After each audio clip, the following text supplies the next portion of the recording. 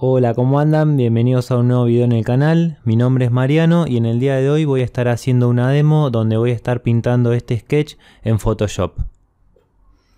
Antes de comenzar te invito a suscribirte al canal si te gusta todo lo que tiene que ver con la ilustración digital y el concept art. Ahora sí, empecemos. Acá van a poder ver que bueno, contamos primero para comenzar con un sketch que hice en dibujo lineal. Más o menos planteé la idea que tenía en mente y me armé todo un panel de referencias en otro archivo para eh, bueno contar con distintos elementos y que me ayuden al momento de ir avanzando con la pintura. Entonces por un lado voy a mm, estuve buscando referencias sobre materiales como metal sobre cómo puedo pintar el robotito Estuve buscando referencias sobre cómo pintar el libro, cómo dibujar por ahí los auriculares o mismo también cómo empezar a trabajar el fondo, el árbol principal o el pasto o bueno, la iluminación sobre todo.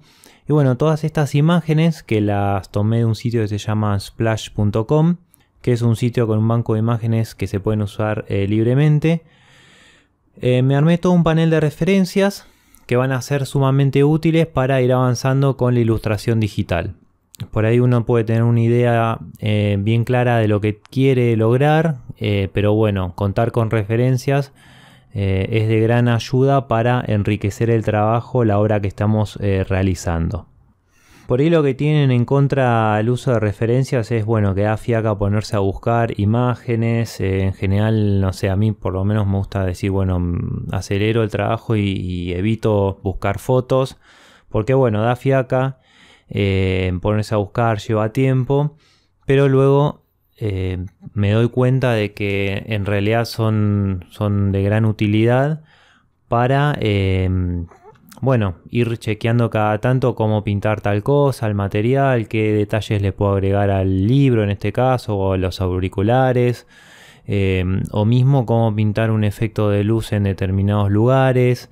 Por eso recomiendo que a pesar de que em, nos dé vagancia, digamos, buscar referencias, tomar el hábito cada tanto de buscar imágenes que nos inspiren y que nos ayuden a terminar la obra.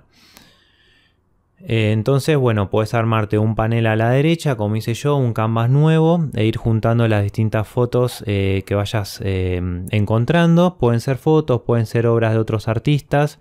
mi consejo es no copiar, sino usar determinados elementos, colores, texturas, que bueno, que, te, te ayuden y te guíen en todo el proceso.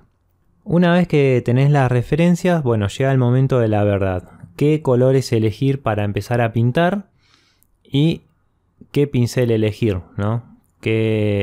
cómo, cómo, empezamos a dar los primeros pasos en la pintura de nuestra ilustración. Entonces, em, yo ahora me estoy acostumbrando a utilizar menos pinceles que antes. Utilizo uno en, este, en esta demo sobre todo que es un circular, eh, un pincel circular medio estándar, en donde le hice un poco de algunos ajustes pero pinta opaco, no tiene mucha textura y es circular. Entonces eh, casi toda la pintura van a ver que voy a estar con este pincel.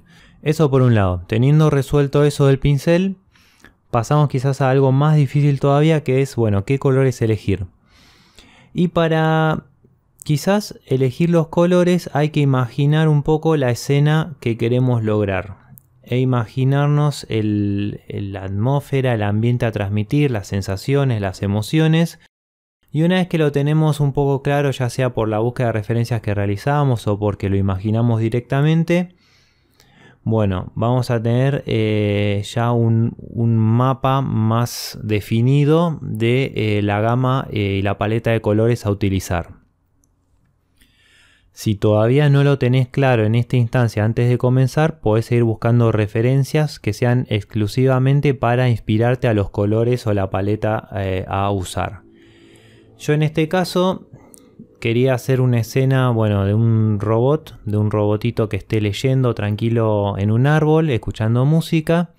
Quería transmitir cierta sensación de, de relax, de armonía, de tranquilidad.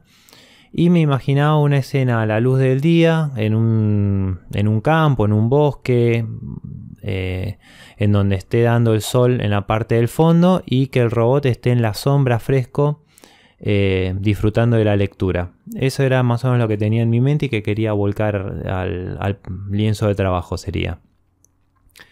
Así que bueno, como tenía eso eh, ya más o menos definido, a partir de ahí empezar a, pintar en donde decía, bueno, el cielo va a ser celeste, podemos pintar algunas nubes, vamos a tener la iluminación de determinada manera en el campo, eh, el pasto verde claro, en la sombra vamos a tener unos tonos más azulados que tomen el, indirectamente la luz del cielo celeste.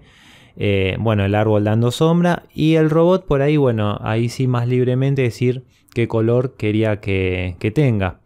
Y me imaginaba un color en la gama de los azules, celeste, verde agua. Eh, entonces más o menos ya tenía definido todos los colores a utilizar en la ilustración.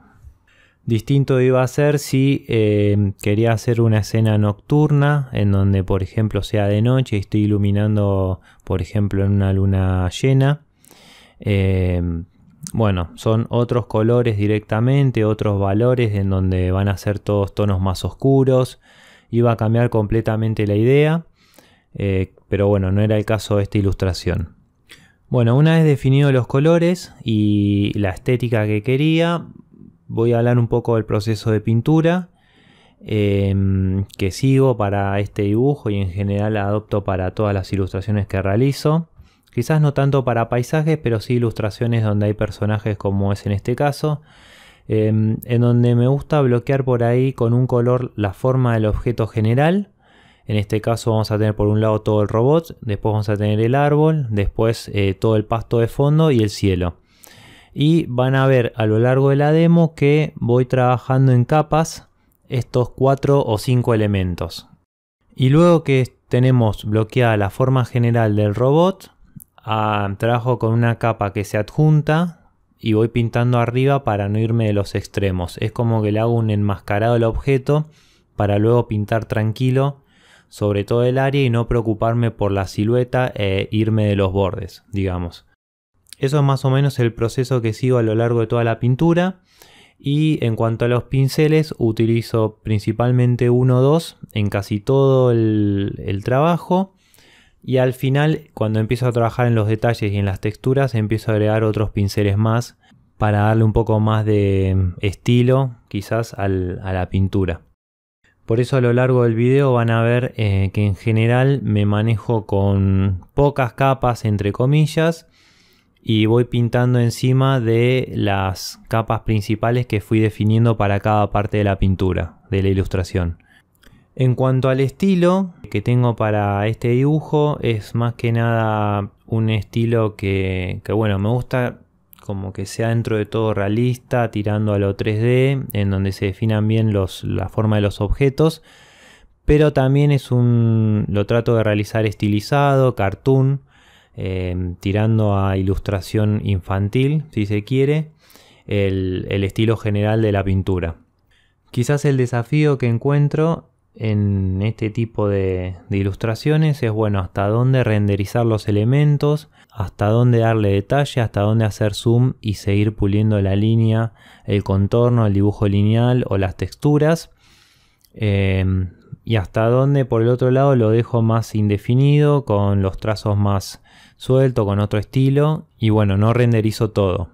Eso es un desafío porque cuando vas haciendo zoom en distintas partes de la ilustración, bueno, puedes estar, no sé, bastantes horas renderizando todos los elementos, eh, que está muy bien porque, bueno, lleva tiempo, pero por el otro lado, si estás, eh, si tenés que realizar varias ilustraciones, supongamos 10, 15, 20, 30, me da la impresión que tampoco puedes estar 30 horas con cada ilustración y hay que trabajar un poco más eh, rápido.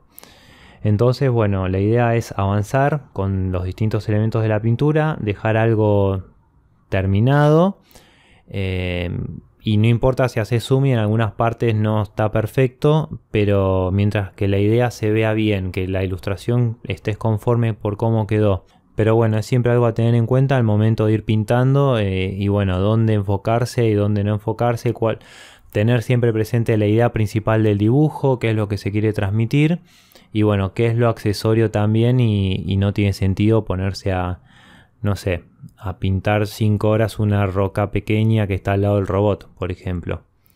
Así que bueno, en este video fui cubriendo los distintos temas que quería hablar. Van a ver que si bien está en alta velocidad, se va a ir viendo cómo se va avanzando con la pintura de los distintos elementos. Cualquier duda o consulta que tengan pueden preguntarme en los comentarios. Y bueno, no olviden suscribirse al canal si les gusta todo lo que tiene que ver con la ilustración digital y el concept art. Eh, pueden seguirme en Instagram, que es Jofre Mariano. Ahí debajo dejo la placa. Y también si quieren profundizar sobre alguno de los temas, pueden suscribirse a alguno de mis cursos que están en mi sitio web. El curso de paisajes digitales y escenarios de diseño de fantasía. Y el otro curso de iniciación a la ilustración digital. Así que bueno, eso es todo por hoy. Nos vemos la próxima y espero que les haya gustado el video. Un abrazo grande.